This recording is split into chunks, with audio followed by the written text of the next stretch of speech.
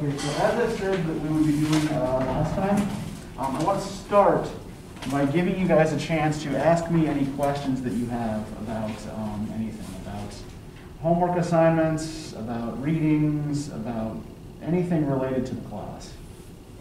Are we gonna go over the, like, not really go over, but like talk about the Seneca assignment? Yeah, we're probably going to spend about half the class doing that. Yeah, so we we are going to talk about the Seneca. Will we be going outside? What's that? Will we be going outside? Not today.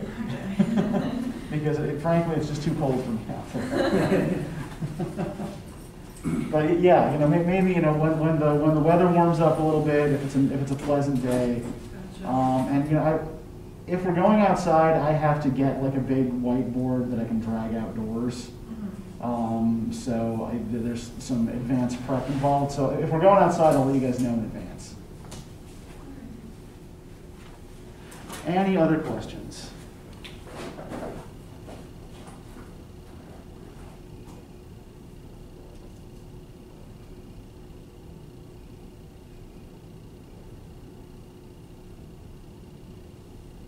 Just give you a minute. Mm-hmm. Just make sure.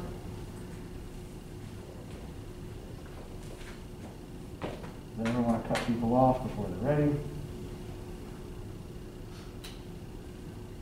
Okay, um, so just a couple of things I want to say about the first homework assignment, right? So everybody has got, uh, got the grade and read the feedback, right? Okay, it's, it's, if you haven't seen it yet, it's in Georgia, it's all available in Georgia View. Um, overall, for a first assignment, um, you guys actually did a pretty good job, right? I was actually really pretty pleased with how this class did. But there are a couple of things uh, I noticed um, across the board that I just wanted to quickly uh, try to give you a little bit of help with so that you would uh, do better next time, right? So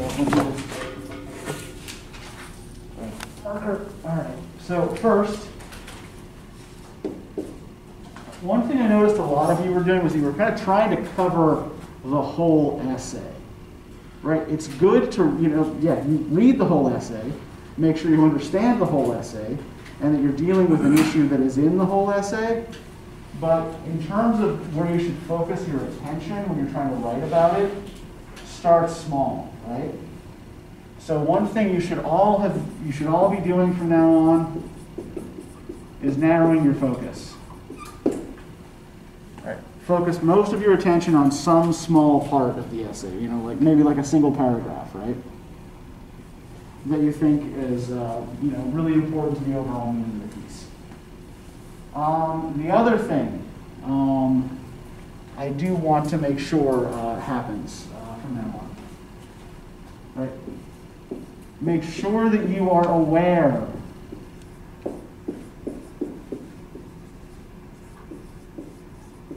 of any special instructions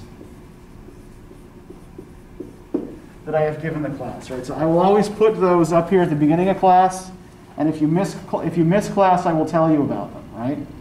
But make sure that one, you are only doing the assignment that you are supposed to be doing, right? So in this case, right, you are only supposed to do assignment one on page 36, not the, any of the others. And also, you know, any instructions as regards the subject you're supposed to be using and things like that, right? Um, most of you uh, did this, but just there were enough issues and understanding that I wanted uh, to make sure that it was clear on. Uh, now, do you guys have any particular questions about the assignment? And would send by, Just, uh, uh, just, and, and just any questions you have about the last assignment, about,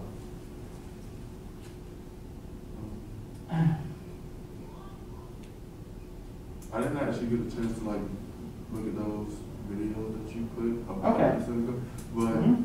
um, kind of like where, where I took it as, like, he was, you know, he had one position, like, when he started, but then he ended, like, not being on either side. okay, yeah, uh, so he starts, you, you felt like he starts talking about one thing and ended up talking about something else. Uh, yeah, that's actually, uh, that's actually a really smart way to look at the essay, and we are going to be uh, talking a little bit about that um, in the second half of class. Um, so yeah, we'll, we'll, cover the essay itself um, in a little bit. So yeah, just sit on that for a minute, and we will get back to it. Okay. Yes. Are you gonna talk about like why he, like why he answered his own rhetorical questions or? Yeah, we can talk about that. That is something we can discuss. Yes. Um, in terms of narrowing our focus, like, that was a very, to me at least, it was very scattered in his points. Uh-huh. So would we just, are you like saying we just need to pick one point and stay on that? Yes. Would it just completely leave the rest of what he said out of it, or Um, include it, but I would say, you know, include it if it's relevant to the large, to the point you're dealing with, right? So yeah, I would say stick to one point. You can mention stuff that is not part of that point but is relevant to it. But yeah, try to keep your analysis focused on pulling out that one point, right? I think that like, like we have this tendency, right? We want to go global when we read something because we it, it makes us feel smart to do that, right?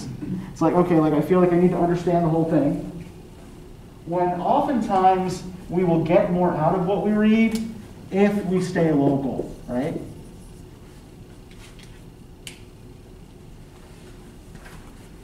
Um, there's a, a classic comparison in philosophy. I think it was first made by Aristotle.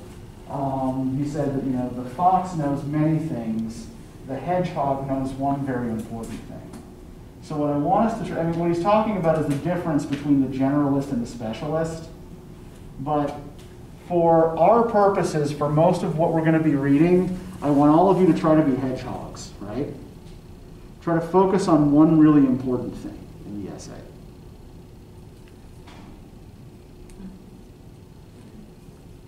And it helps to think of yourself as a hedgehog, then, then you know, please do so. Okay, uh, so if there are no further questions, um, I'm going to start as usual uh, with a quick close reading exercise.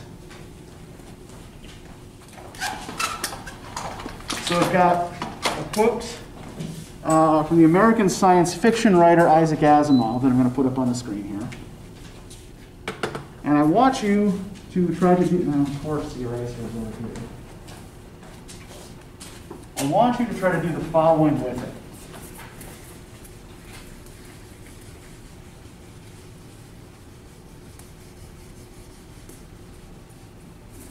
Right, first, identify key words and phrases. All right, try to pick out as many important meaning bearing words and phrases as you can and think about what their significance might be, right? Secondly, I want you to try to organize these keywords into patterns, right? Into strands and binaries. Uh, strands are patterns of repeti- repetition, binaries are um, patterns of opposition, right? Um, remember that only one half of a given binary might be stated here. So if there's a word in here that has an opposite, you might want to think about what that opposite is and how it's at play here as well, right? Um, also, remember that when we talk about strands in, ter- in terms of repetition, we mean like repetition of ideas and concepts not just repetition of a specific word, right? Um, then, once you have done that, I want you to think about what the author must also believe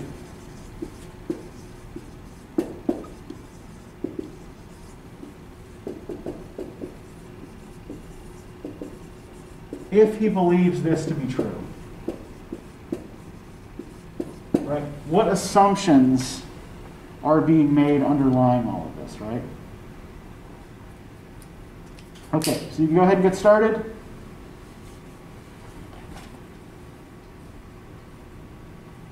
And just take your time, focus on the first two steps here intensely for a little bit, and then we'll break and talk about them.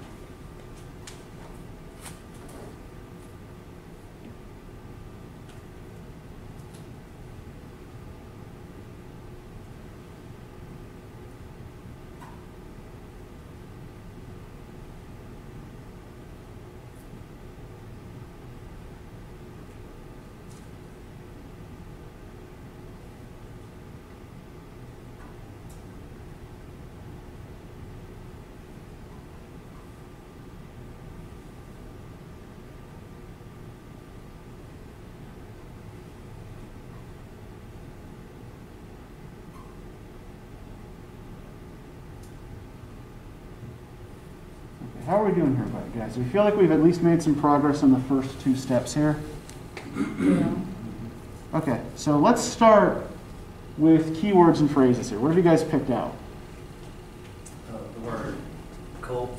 Okay, cult. Like Rodney Matthews, you know, it's almost like a, like a blind following of the Okay, yeah, we tend to associate cults with blind obedience and dogmatic behavior, right? Right, People who don't toe the line in a cult usually end up shunned, right, by the, by the other members. Um, what else, what, what, what other connotations does the word cult have? Like, in what context do we tend to use the word cult? Bad. Okay, yeah, it's got negative connotations, right? We typically don't use the term cult to describe people we like, right? Right. And it also has a religious connotation, right? Yeah, or just like, like any kind of, you know, small religious group that's outside the mainstream that um, enforces particular codes of behaviors and beliefs, right? So even if we happen to belong to such a group, we usually don't refer to it as a cult ourselves, right?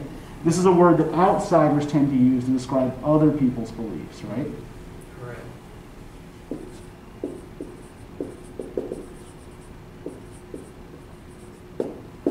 Okay, good. What else? I think along with cult, whenever it says the cult of ignorance Uh huh. and how it's in the United States, I think that was kind of a key phrase. Because Okay. I mean, you don't think that the United States would be ignorant. I mean, we do ignorant things, but it you wouldn't think of us as a cult. Okay. Let's roll off of that, like, from the inside, looking at like, just like what you just said, like if it's like an outsider word, you know, like Uh-huh. that's him, who I'm guessing is a guy of like, you know, he looked, his name, he looks like he's a Russian guy, but he does say our political and cultural life, so it seems Yeah. like he is an American, but Yeah. So he is a Russian guy, so he's probably looking at it from the outside, like. Yeah, and yeah, um, Asimov was uh, himself. You know, he, yeah, he was an American science fiction writer, but he was the son, I believe, of Russian Jewish immigrants. Okay, yeah, So yeah, he might be looking at, he might still be looking at American culture at a slight remove, right? right, But yeah, he, he seems to, yeah, he seems to include himself in Americanness, right? right, But not in this cult of ignorance. right, I think that's an important distinction to make, right? So does he seem to think that this cult of ignorance applies to everybody in the United States? no, Yeah, this cult exists, right? There is this a group in the United States for whom this is their dogma, right? But that doesn't apply to everyone. Okay, good. What else? What else have we got out of this? Always been, is kind of important. Okay, all has always been. And can we identify that as part of a strand? Is there another word that's related to that? constant. Yeah, has always been and constant. And what do these phrases have in common with each other? How do they form a strand? They're always, I mean, I don't They're know, the same like, always been. continuous. hmm Yeah, they, they both refer to time, right? Correct. They're both concerned with time, and they both suggest permanence, right? Right. I feel like, you know, he, he, he says always been, so that's referring to the Mhm. past, but he Yeah. calls a constant as if it, it, like it has continued since. Yeah, that's actually a good distinction to make here between the two, right? Yeah, the been is past tense, and the constant means something that continues into the present. So linking past with present. I feel like even further with that is things is uh, like maybe a sense of acceptance of the, this cult of ignorance that's been in the United States. Yeah, is it, yeah, the, yeah, there's a sense here, right, that this is something that either, that, you know, something that has been with us since the beginning, right? Right. that's part of our political and cultural life and is thus difficult or impossible to get rid of, right? That, yeah, that, this particular idea has, has very, very deep roots. Because even then it says nurtured by the false notation that democracy means that my ignorance is just as good as my knowledge. So, Mhm. then- mm, I don't know how to word it, but I mean, it Uh-huh. feels like, like y'all said, they're used to it. So Yeah. it's kind of, it's, Mhm. instead of being, you know, slap on hand, that's not good, they're just accepting it. I also think he's like, he's definitely. It was a newspaper note. Yeah, right? Obviously coming from a place of opposition to ignorance. Yeah. Like, I mean, he kind of comes out the door with that, but, Yeah. you know, he's talking about it as some, as some kind of like social parasite, like it's a thread winding its way through our political. Mhm. Yeah, the idea And it's been supported or nurtured by Yeah. the false notion, Yeah, the idea of this a, is what this means. a thread winding its way through our political and cultural life. Right? Yeah, there's a metaphor in there, right? Right. That our political and cultural life is like a garment. And one of the threads making up this garment is this wacko belief, right? Right. And what does he blame on this? What, what, what does he blame as the source of this belief? The false notion that democracy means yada yada.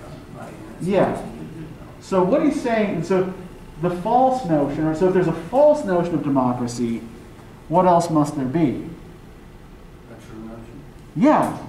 So there's a true false binary here, Right. right?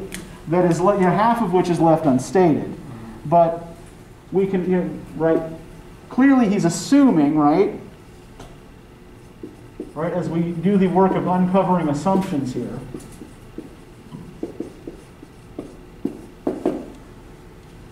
That if there is a false notion of democracy, there must be a true one. Correct.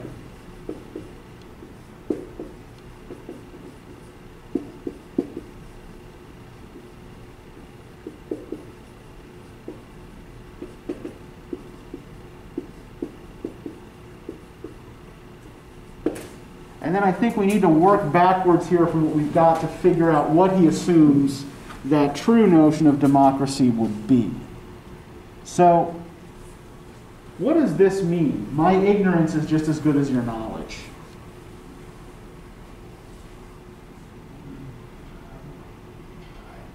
I mean, not, I'm just kind of shooting the wind here. I feel like it's, you know, like live and let live kind of thing. You know, you think of democracy, you think it's like do as you Mhm. wish. You know, so it's Okay. like I'm like I'm allowed to be ignorant if you're allowed to. You know. Okay, so one part of the assumption here, right? So he's saying that people assume that democracy means that all opinions are weighted equally, right? right. So um, let me give you an example here that we can work from. So uh, my wife and I renovated our house uh, last year. Um, now, I know absolutely fuck all about tools, right? I can barely hammer a board into a nail without hurting myself. So, do I have any business going up into the attic and telling the carpenter doing the work there how to do his job? No. So. Yeah, me, like, and, and by the same token, right? You know, I have a PhD in English literature, right? I've been studying literature and language for the bulk of my adult life, um, which is now longer than I like to admit. Um, and, you know, that same carpenter, while he knows what to do in my attic, right? You know, he knows, you know, how to, you know, you know, how how to, you know, put up the walls and, you know, put the insulation into them and, you know, fix beams and things like that. Um, does he have any business coming in here and teaching my class? Yeah, because this is outside his area of expertise, right? Now, you will find some people where areas of expertise overlap, right? So, like, you know, Dr. Waldrop down the hall is also a general contractor. so, you know, you know, so, you know, he could come in here and teach my class. I could not do his contracting work for him. Um, but uh, the basic point here, right, is that um, the idea he's talking about here is that everybody's opinion has equal weight in this notion, this false notion people have of democracy, right? What is he suggesting should be the case? What does he think democracy really means or really needs? Uh, I, it seems like he's someone who like truly believes in the notion of like knowledge is power, like like knowledge is important. Mm-hmm. Uh, you know, and just to kind of relate on Seneca thing, you know, he was talking Uh-huh. about how uh, like the pursuit of wisdom was like only. So it's like knowledge is power, basically. Is what I'm trying to get in that. It's like he believes Mm-hmm. in to be intellectual is Okay. is a great advantage, and it Sure. and it would bear, uh, I guess a heavier opinion, like people would be more likely to listen to you than someone of ignorance. Yeah, I, I think that's closer to what he means, right? Yeah. The idea that democracy should respect expertise, right? Right. Not be stubborn again. Yeah.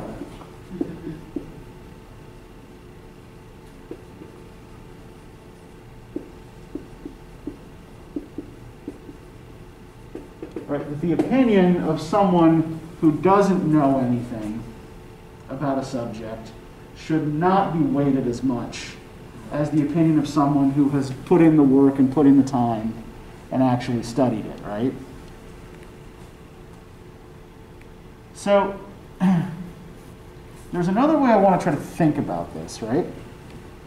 Um, there is a formulation that the textbook gives us uh, for dealing with um, these kinds of implied ideas in a text that can also help us form thesis statements as we start moving into that phase of the class. So, the way they formulate it is seems to be about X.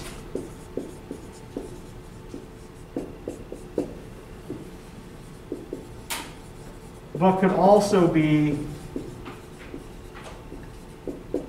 about Y, right? Where X is the explicit literal meaning, the surface meaning, the obvious meaning, and Y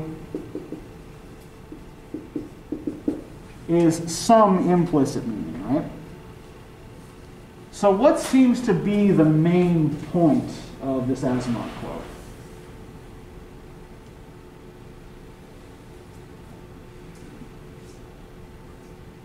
Can you rephrase that or ask it again? Like, don't, I would, I guess, like, don't try to, don't try to act like you know something if you don't know it. Like, I don't know. Uh huh. Well, it- let- let's let's try to think of it less as being framed like a moral or like advice, Yeah. and just in terms of like what the quote actually says, right? So, would we think something like a significant subset of American citizens misunderstand what democracy means?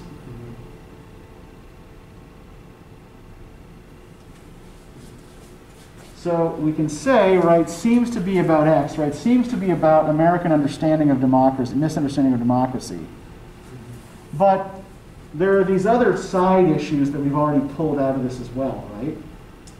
But could also be about blind obedience, Right. the cult thing, right? Right. But could also be about time and permanence, the has always been constant thing, right? Could also be about the relative value of expertise. Right. So there are all of these implied values in here that we could pull out and make the subject of a longer paper. And you will find this sort of thing in just about um, any, even relatively small quote, right? You know, this is what, you know, this is two sentences, right? Mhm. In fact, most of the units of analysis we've been working with have been pretty small. And we can do the same thing with any of these things that we've close read over the last couple sessions, right? So, you know, the first day we had that Jonathan Swift quote. We had the descriptions of those monkey-like creatures that turn out to be human beings, right? So, that piece of text seems to be about uh, parodying um, scientific language but could also be about lack of self awareness, right? Right. Because the scientist character there, Gulliver, does not recognize that he is also one of these creatures. Right. Um, the quote from The Hobbit that we looked at last time, right? It seems to be about the nature of language, you know, that, you know, where Gandalf is questioning Bilbo as to what he means by good morning. But it could also be about the importance of context in determining meaning, right? So there are these other side things that are always implied in any given piece of text that we can use to find a way in, right? Something else to think about, right? Something to pick apart. So, when we are coming up with an interpretation of something,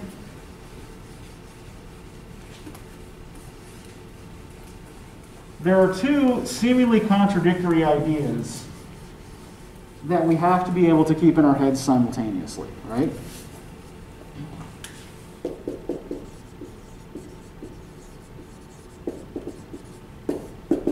One,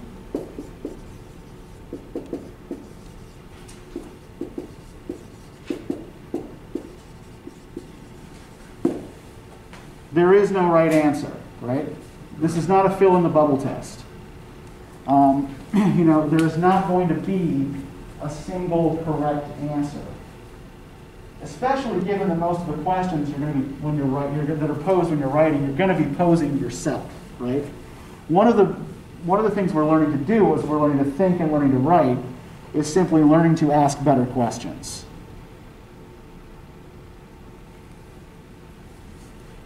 However, some answers are always going to be better than others. So on the one hand, right, there is no single correct answer, but on the other hand, it's not all, well, everything's relative either, right? It's not, all, well, just means whatever you want. We have to work with the information that we're given. Right? So one sub rule that we'd add to this is that you can't just make shit up.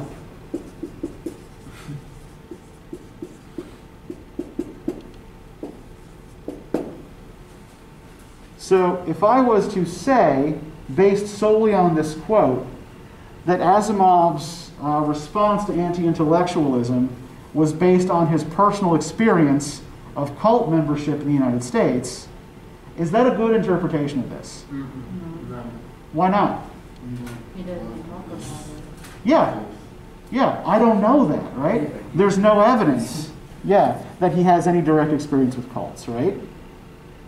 So I can't simply add something from outside of this to explain it, right? Now we'll talk about how we can use an interpretive context to pull things out of a narrative, right? Which involves actually using stuff that we do know to find meaning. Um, but yeah, we can't just make things up in order to construct a narrative, right? Because then all we're doing is telling a story. We're not actually analyzing what we're reading.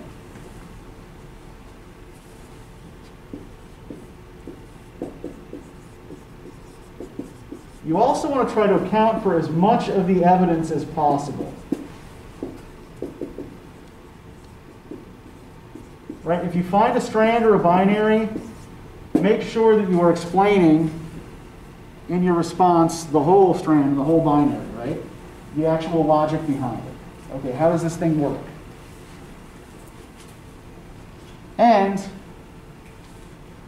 right, again, can't stress this enough, right? Only use what's actually there.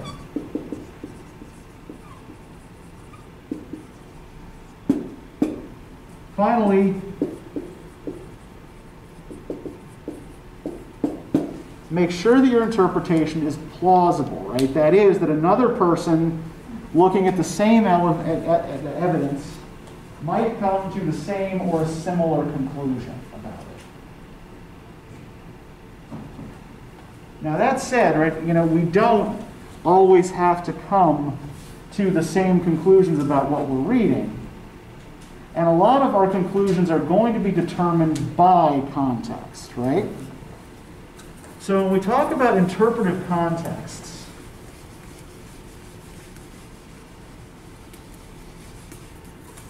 we're talking about a variety of lenses through which we can look at a particular text and get meaning out of it, right? So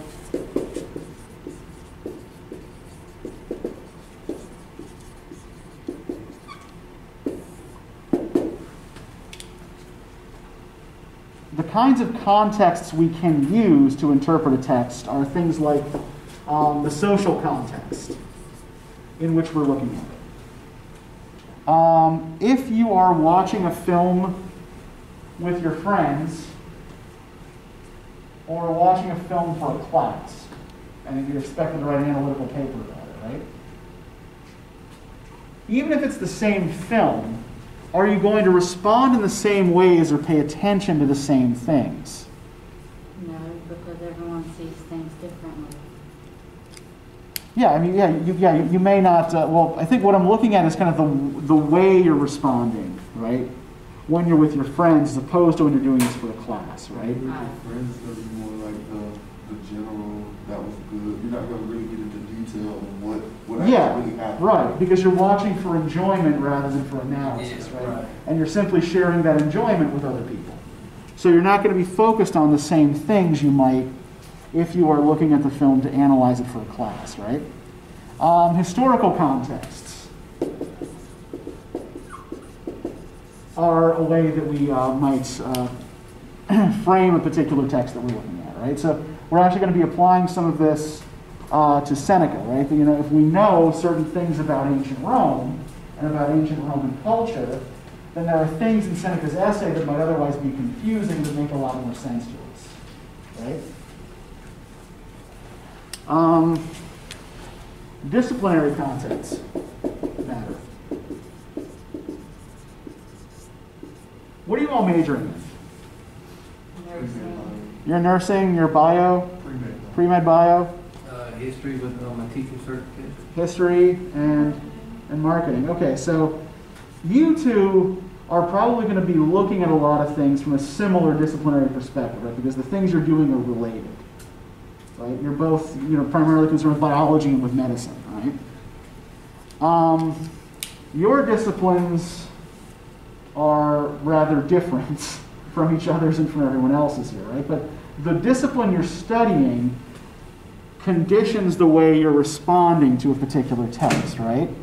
So if I'm, you know, if you're reading a medical textbook for a biology class or a nursing class, you're not going to be reading it the same way you might read even the same textbook if you're asked to do so in an English class, right? Hmm. You're not looking for the same things.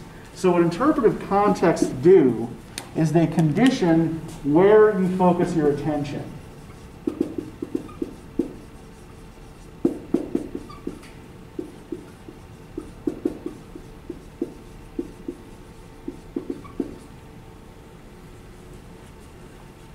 And you know, as someone with an academic major, right? Even sort of as a general human being, you belong to a variety of what the literary critic Stanley Fish calls interpretive communities. And you know, far be it from me um, to criticize the great and famous Stanley Fish. Um, you know, I'm just a nobody who teaches at a small state university, and he is a famous uh, published dean of humanities in various places and, and, and whatnot. Um, I actually think much of this stuff is bullshit.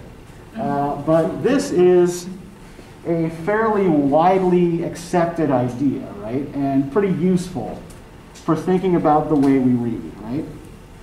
So an interpretive community is a group that shares interests, right? A jargon that is a kind of specialized language that everybody within the group understands. And a way of looking at a particular subject.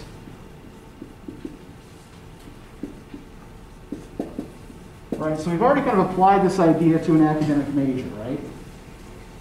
If you're majoring in history, then yeah, that conditions the way, you know, historians have a particular way of reading text and interpreting text, right? Literary critics, literary scholars have particular ways of reading and interpreting texts. Um, but, you know, even like something like a fandom is a form of an interpretive community, right? Um, I don't know, are any of you involved in any like intense fandoms? Like, there any of you like go on message boards for K-pop groups or things like that? Not so much. There, you know, any like movies or TV shows or musical acts that I need to be like Like following really intensely with that? Okay, so yeah, so if you go on like, you know, Grey's Anatomy message boards and things like that, or join like Grey's Anatomy Facebook groups, things like that, then the people in those groups will have a particular lingo that everybody understands, right? You know, they'll refer, they'll use acronyms or new words or specialized phrases, right? That refer to the thing that they love that people who aren't part of the fandom won't get, right? Um, you know, even like if you look at things like um, intense Star Wars fandom, right? You know, there are a lot of abbreviations people use. Um, you know, people have particular ways of interpreting new films that come out um, that are often seemingly conditioned by years spent alone in one's mother's basement. You know, raging at the, you know, raging at the fact that anything ever changes, and cultivating one's neck beard. but I digress. Um, but yeah, like you know, people will share information in particular ways, will interpret the, the thing that they love in particular ways. Um, just as people in academic disciplines will you have a particular focus on the thing that they study, right? So even like within English, say, right?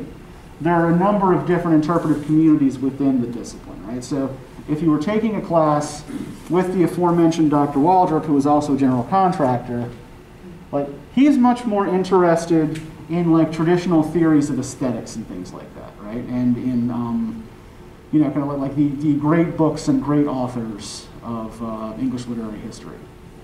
If you were to take Brit Lit 2 with him, that's what you get. If you were to take Brit Lit 2 with me, I'm much more interested in history and economics and in the ways that kind of material culture, material conditions um, generate culture and kind of like, you know, create the ground um, on which art is produced, right? So I'm much more, I'm less interested in individual authors and more interested in like broader movements, things like that, right? So we're in the same discipline, but we're coming at it from different angles, right? We're, you know, involved in different interpretive communities in that way, right? So let's try and apply some of this uh, to Seneca.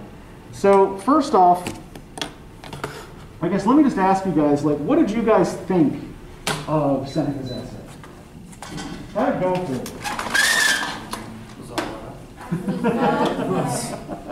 Writing in the margins, the first like page, uh, the first two pages I was reading at, I Uh-huh. was like, damn it, I did not read any of that.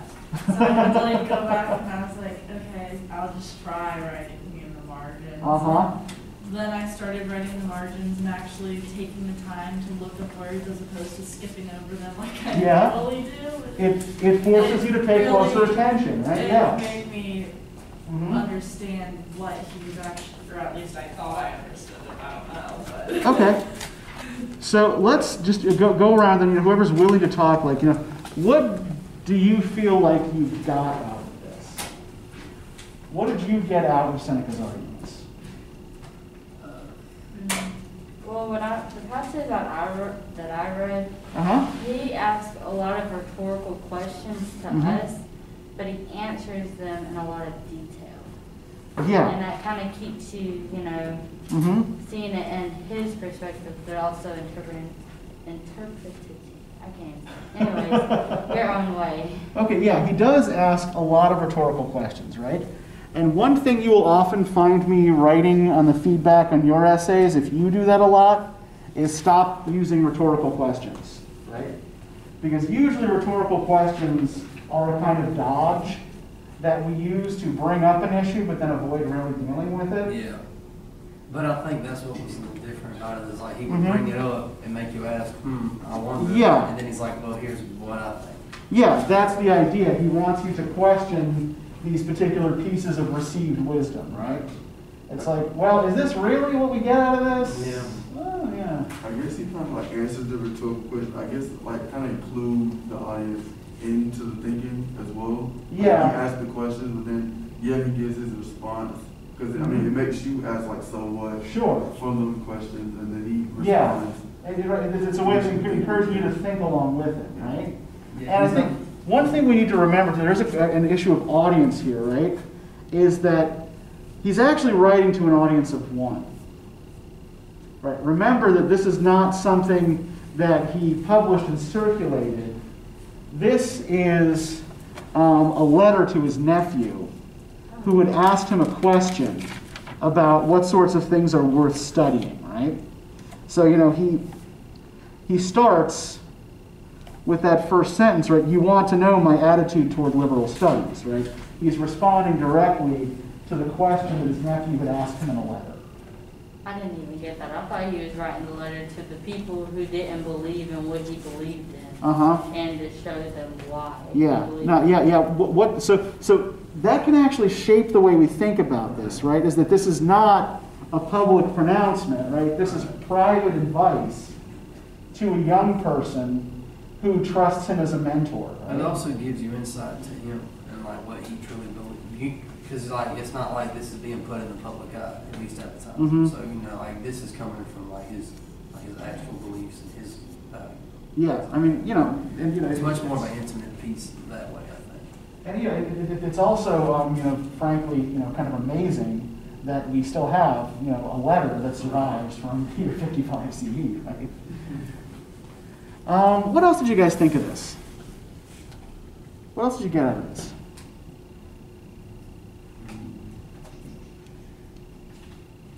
I, I, I thought it was interesting how he uh, kind of compared like being or, or like having a. the Uh, what was the question in the thing? It said something about like liberal arts Mhm. uh, can make you morally.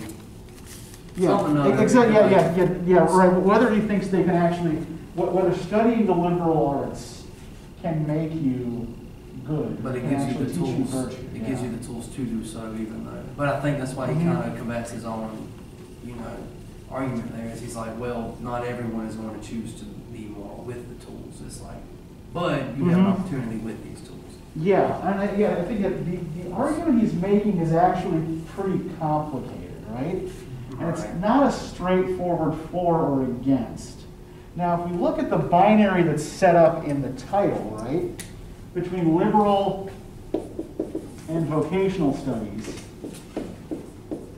does everybody understand what he means by vocational studies? No, well, I don't. Is he, uh, using that as like, what you mean by like the pursuit of wisdom? Is that what he? Well, when I hear the word Mhm. vocation, I think like a job, or like a, you know. So I think he's thinking liberal is more of like an intellectual than a physical Yeah. thing. Something Yeah. Have to be. Yeah, so vocational studies would be like what we would call tech school. Yeah, or like right? a trade of some sort. Yeah, so if I wanted to learn to weld, and I went to tech school for that, right, that would be, I'd be pursuing vocational studies according to Seneca's definition, right? So, yeah, so vocational skills are job skills, right?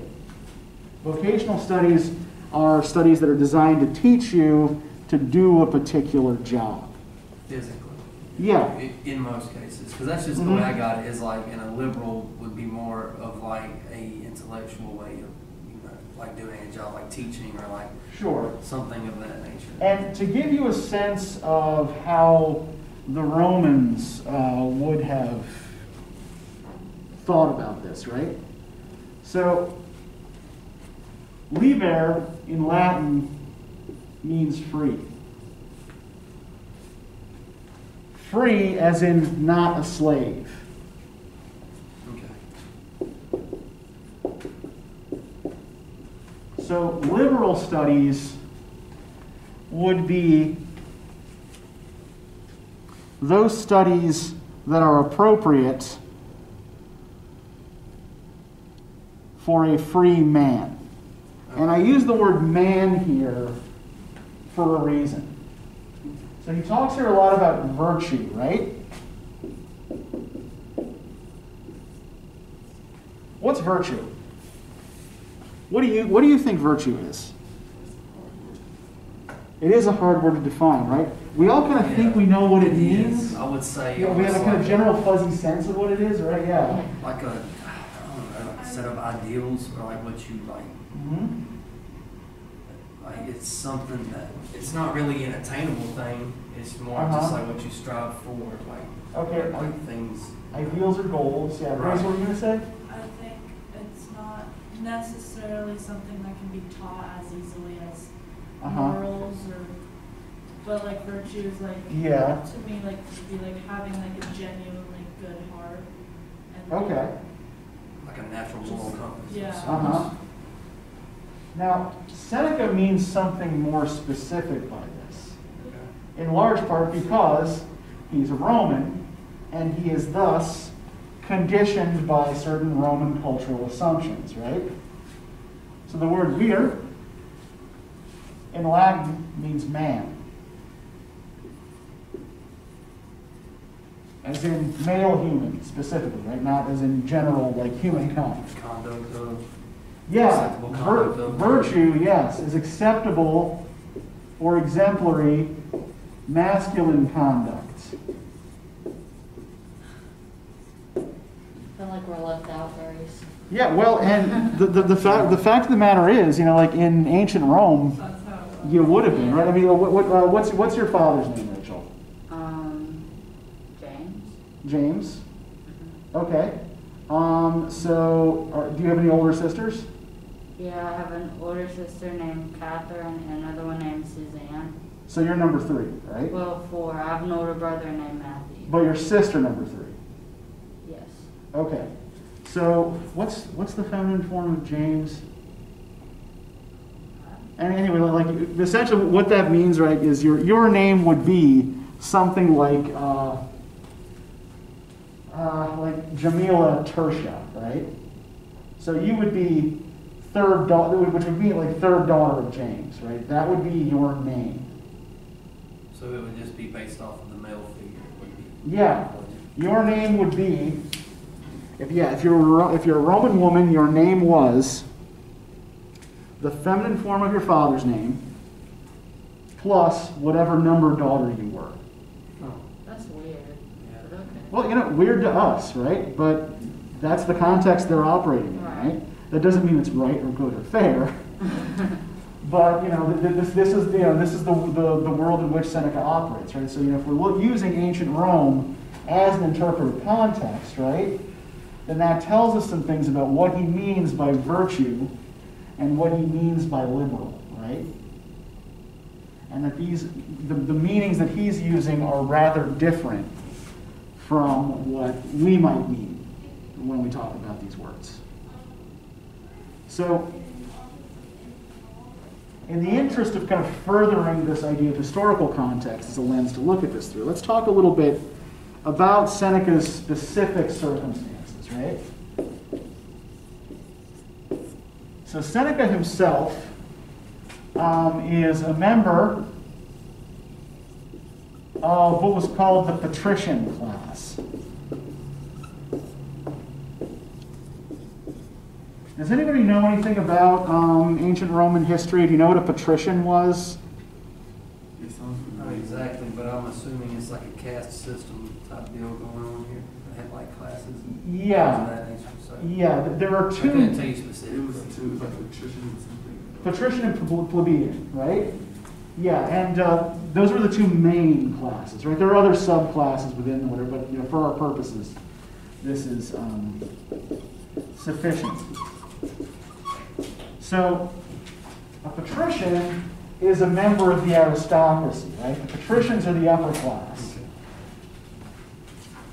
And Seneca himself was very close to the imperial family.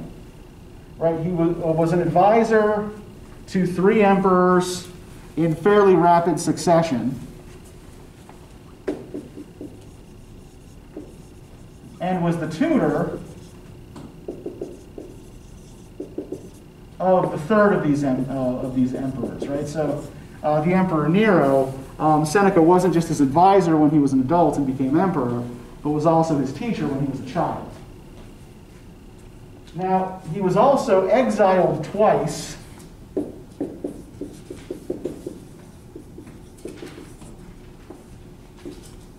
And forced by Nero to commit suicide when Nero suspected him of plotting against him. So, what does this suggest about the political situation that Seneca is operating in? Uh, you, you know, they don't really, I mean, it sounds like that they're not real kind of like opposition or like different ways of thinking. 'Cause It Okay. seems like he was a guy who was, you know, kind of always, he said he was an advisor, Mhm. but if, I mean, if he thought he was plotting against him, he probably just gave him some advice that he didn't think. Yeah, th- yeah, there, there, there, yeah, there is no evidence that Seneca actually had done anything disloyal to Nero, Right. right? But the fact that he's also exiled twice, right, suggests something about the general political situation in imperial Rome, right? That it's a little unstable, and that, you know, if you are close to the throne, right, then your fate is very closely tied to the whims of whoever's sitting on it, right? Right. Now, this is actually relevant in some ways to the philosophical system that Seneca advocates, right? Seneca is what's called a Stoic. Are any of you familiar with the word Stoic? You know what a Stoic was? It sounds familiar. I've heard it as like an adjective. Yeah, we still use the words, we still use the word to describe somebody who bears up well under pressure, right? You know, somebody who doesn't, you know, who doesn't fall to pieces when everything goes wrong for them, right? That's only a small part.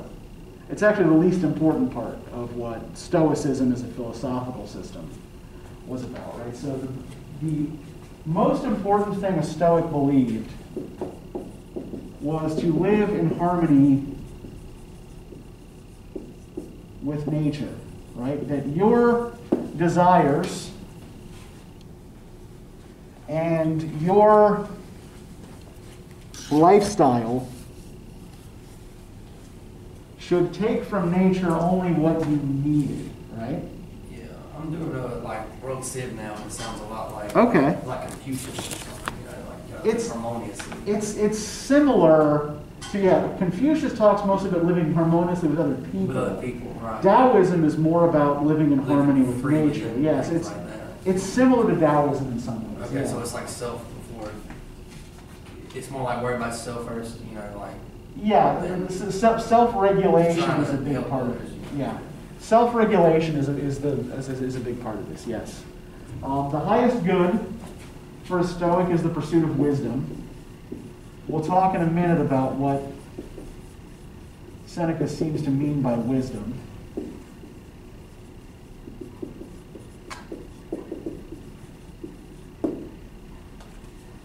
And that wisdom, actually, yeah, I'll, I'll tell you right now what he means by it. Wisdom consists in understanding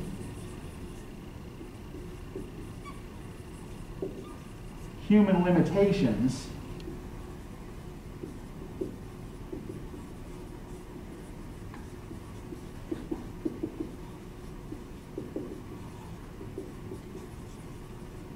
and living within them. So what this means, right, is that not only should you be like you should be avoiding excess in all forms, right?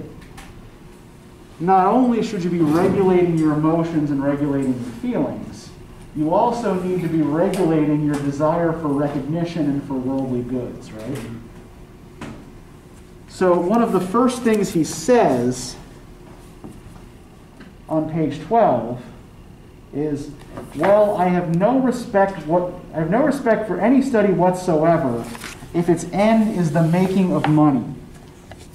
Such studies are to me unworthy ones. They involve the putting out of skills to hire and are only of value insofar as they may develop the mind without occupying it for long. Time should be spent on them only so long as one's mental abilities are not up to dealing with higher things. They are our apprenticeship, not our real work. So, this is his attitude towards vocational studies, right? okay. Now, some of this is also class based, remember that Seneca himself is a member of the upper classes and is thus not expected to work for his money, right? He's not a slave and he's not a plebeian. So the assumption he's making about people who pursue these lines of edu- these lines of study is what? We can already note Is we've already noted a class-based assumption, right? Like wasting their time almost, like they're not doing what's really important, they're just doing what is, you know, Okay, I'm gonna working for different things, I yeah, guess. I'm gonna quote one line back to you here. and tell me what you think of it. Time should be spent on them only so long as one's mental abilities are not up to dealing with higher things. What assumption is he making? Saying that if you can't understand higher things, then this is probably better for you. Yeah, that this is for stupid people, Yeah. right? I was about he kind of like this, like superiority over. Yeah, But he's coming from that place as well, so it's like, he's Well- coming from the place of like, oh, well, those people, you know. Exactly. Yeah, th- th- these aren't what people of his class do, right? So he is kind of looking down on those who work for their money, right? Now, one thing that we have to remember again about Seneca and his disdain for wealth is that he had plenty of it. Right. And, you know, even though, you know, yeah, he did, he went through some trying times, you know, exiled twice and eventually, essentially executed, right? Uh, while he was alive, he never, wa- you know, he never lacked for food, right? He never lacked for sustenance. So, it's, we can say, we can say from our perspective that it's easy for him to say making money doesn't matter because he never had to, right? As advisor to the emperor, upper class person, and literary celebrity.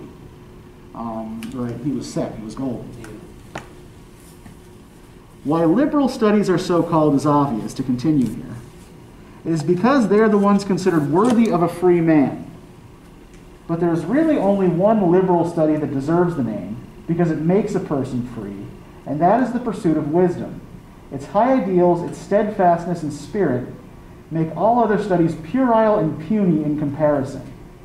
Do you really think there is anything to be said for the others when you find among the people who profess to teach them quite the most reprehensible and worthless characters you could have as teachers? All right to have studied that sort of thing once, but not to be studying them now. So, the evidence he's using for the fact that liberal studies don't necessarily teach virtue is that some of the people who teach them are pretty horrible, right? Right. right? That this demonstrates that having attained that education doesn't necessarily, in and of itself, make you good. Right. Just just give you a chance to do good. Uh, Yeah, he- yeah, he, he eventually sort of gets there, and this is a kind of building block, right? That you know you, you can't build virtue on a foundation of nothing, and it's easier to build that foundation with, you know, this kind of knowledge than with you know knowing how to hammer a nail into a board, according to Seneca, right? But if we look, we look at the kinds of things he places under the rubric of liberal studies, you've got literary studies, music, astrology, not astronomy, astrology, as in the motions of the planets and stars affecting our existence here on Earth, right? You know, because when he, you know, the Romans believed in this, right? The information one gets from these fields of study, he feels does not actually help him become virtuous, right? Does not help you achieve wisdom and that indeed much of it is superfluous. So if we look on page 15, um, we just want to focus here for a second. The, the paragraph at the top here, we start there. There is nothing small or cramped about wisdom. It is something calling for a lot of room to move. There are questions to be answered concerning physical as well as human matters, questions about the past and about the future, questions about things eternal and things ephemeral, questions about time itself. On this one subject of time, just look how many questions there are. To start with, does it have an existence of its own? Next, does anything exist prior to time, independently of it? Did it begin with the universe, or did it exist even before then on the grounds that there was something in existence before the universe? There are countless questions about the soul alone where it comes from, what its nature is, when it begins to exist, and how long it is in existence. Whether it passes from one place to another, moving house, so to speak, on transfer to successive living creatures, taking on a different form with each, or is no more than once in service and is then released to roam the universe. Whether it is a corporeal substance or not, what it will do when it ceases to act through us, how it will employ its freedom once it has escaped its cage here, whether it will forget its past and become conscious of its real nature from the actual moment of its parting from the body and departure for its new home on high. Whatever the field of physical or moral sciences you deal with, you will be given no rest by the mass of things to be learnt or investigated. And to enable matters of this range and scale to find unrestricted hospitality in our minds, everything superfluous must be turned out. Virtue will not bring herself to enter the limited space we offer her. Something of great size requires plenty of room. Let everything else be evicted, and your heart completely open to her. So, what are the kinds of questions he thinks we should really be concerning ourselves with? What should we actually be spending our time on? That sounded like existential, like questions almost, like. Yeah, the nature of time, the nature of the soul, right? Yeah, these kind of big ideas, right? I'm focused more on the abstract stuff, on the, instead of the linear things in life. Yeah, yeah, he is talking, he's thinking very conceptually here, right? Not in terms of the concrete. Um, and what assumption is he making about our minds here? And about the capacities of our minds? There is much to it than what we use or what we just like. We we could I guess grow more if we ask those questions and focus Mhm. on those on like stuff that we have definite answers for. Yeah, Look for I guess study the the things that we don't have definite answers that we can compare Uh-huh. our knowledge and you know learn to think more. and what, what does he suggest we do with all of that unhelpful knowledge cluttering up our brains? Push it out. like- Push it out, right? So again, what, what does that suggest he thinks about the human mind? we mind? have a limited capacity. Yes, he is suggesting that we have limited, some stuff ban- out, yeah, Move some stuff in. we have limited bandwidth, right? Right. And if we are wasting that bandwidth on things that are trivial, then we don't have the space necessary to contemplate these bigger issues, right? So the whole theory of education that he has here has the idea of human limitation baked into it, right? That we're only capable of so much. And if we're focusing on this little piddling shit, then we're wasting our potential, right? The paragraph that follows, and then this is where we'll wrap up, because I, I said we could uh, finish up a little bit early. But it's a nice thing, surely, to be familiar with a lot of subjects. Well, in that case, let us retain just as much of them as we need. Would you consider a person open to criticism for putting superfluous objects on the same level as really useful ones by arranging on display in his house a whole array of costly articles, but not for cluttering himself up with a lot of superfluous furniture in the way of learning? To want to know more than is sufficient is a form of intemperance, apart from which this kind of obsession with the liberal arts turns people into pedantic, irritating, tactless, self satisfied bores, not learning what they need simply because they spend their time learning things they will never need. I feel kind of called out here. We hope. But yeah, so like, he's following up here the same idea, right?